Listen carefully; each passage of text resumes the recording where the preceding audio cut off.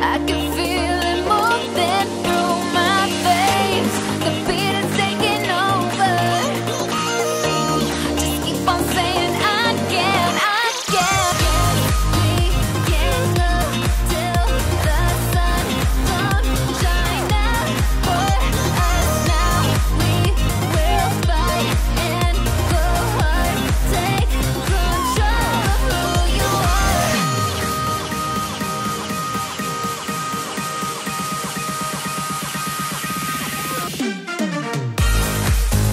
They give it to Jarman. He's scored twice.